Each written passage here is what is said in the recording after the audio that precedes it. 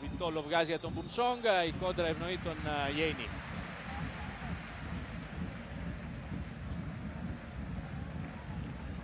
Φεραίρα του βλέπουν στο βάθος τον ε, Μίσα.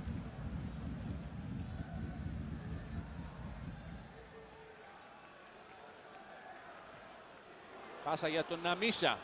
Τος θα γυρίσει.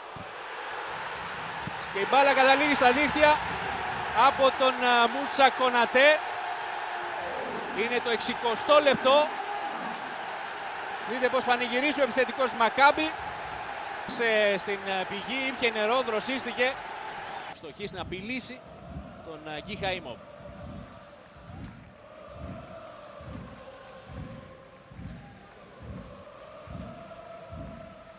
Μίσα επιμένει και αφήνει για τον Λουγκάση με τον Γιάννην. Και πάλι Μίσα. Κοντραευνοεί τον Μεντουγιαννίνη, πάσα για τον Κολαούτη. Αυτός κοντοστέκεται και πάλι στο Μεντουγιαννίνη που δοκιμάζει το σούτ, τον Τζόρβα θα διώξει. Ο Κολαούτη πρώτου καντέ στο 67. 2-0. Μακάμπι Τελαβίβ, Παναθηναϊκός 2-0 με ένα γκολ που μπορεί να κάνει τον Παναθηναϊκό να έχει περισσότερες ελπίδες για την πρόκριση στην φάση των ομίλων του Europa League.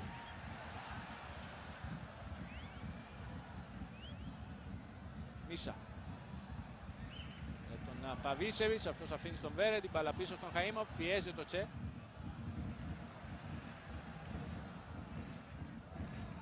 Πρόλαβε ο Κολαούτη. Με τον Γιαννίν. Ξανά για τον Κολαούτη με τη βοήθεια του Μίσα στην επίθεση. Συνεργάζονται οι παίκτες Μακάμπι. Παλιά για τον Ατάρ, ευκαιρία για ένα τρίτο γκολ, το πετυχαίνει ο Ατάρ, είναι το δεύτερο προσωπικό του. Κλειδώνει εμπολής την νίκη και ακόμη περισσότερο